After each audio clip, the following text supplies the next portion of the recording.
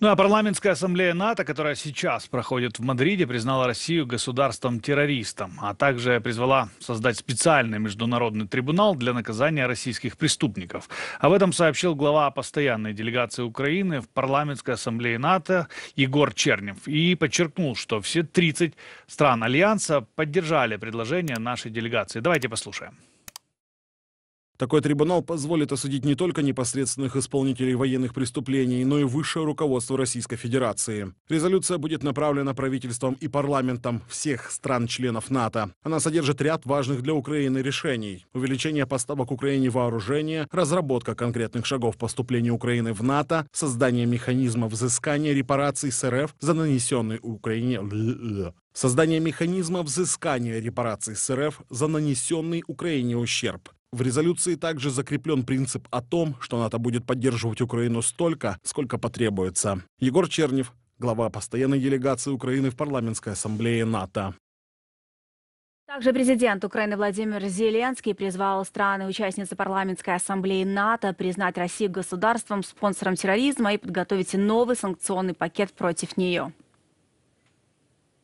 Россия сделала ставку на геноцидную политику и поэтому уничтожает нашу энергетическую инфраструктуру. Убить электричество, вода и теплоснабжение зимой. А это цель России. Это поставить жизнь миллионов людей под прямую угрозу. Это равнозначно применению оружия массового поражения. Абсолютное преступление. Поэтому будет правильно, если вы в своих парламентах признаете Россию государством-спонсором терроризма, как это сделали парламенты Литвы, Латвии, Эстонии, Польши и Чехии. Будет правильным, если ваши страны будут будут постоянно усиливать санкции против России, которая стала полной противоположностью нашему с вами сообществу и самой антиевропейской силой в мире. Именно постоянное усиление санкций не позволит государству-террористу адаптироваться и находить новые пути обеспечения своего террора. Будет правильным, если мы исключим ключевой террористический замысел России и обеспечим Украине полную защиту неба. Когда российские ракеты, иранские дроны и любые другие орудия террора не смогут достигать предназначенных для них мишеней, России придется делать то, что нужно нам с вами, а именно следовать нашей формуле мира. Но для этого Украину нужно обеспечить достаточным количеством и качеством системы систем ПВО и ПРО, достаточным весом оборонной и финансовой поддержки. Государство-террорист должно видеть, что у него нет шансов. Владимир Зеленский, президент Украины. Нужно победить Путина, чтобы не заплатить потом больше. С таким призывом на заседании парламентской ассамблеи НАТО в Мадриде выступил генеральный секретарь Альянса Йенс Столтенберг и подчеркнул, союзники должны настроиться на долгосрочную поддержку Украины.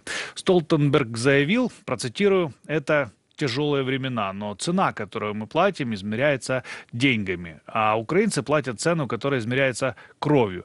Конец цитаты. Давайте сейчас послушаем.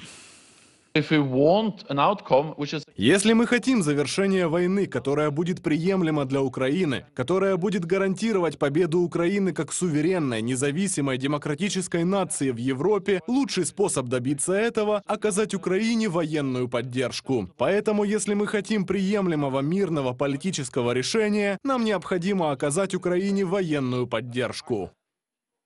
При этом НАТО не будет вводить бесполетную зону над Украиной, чтобы не становиться страной военного конфликта. Так, на пленарном заседании парламентской ассамблеи НАТО в Мадриде заявил генеральный секретарь организации Йен Столтенберг и подчеркнул, что вместе с тем союзники готовы помогать Киеву защищать свое воздушное пространство, поставляя для этого системы противовоздушной обороны. Также Запад активно поддерживает вооруженные силы Украины, обучая украинских военных использовать системы ПВО. Лидирующую роль в этом играет Великобритания, добавил генсек Альянса.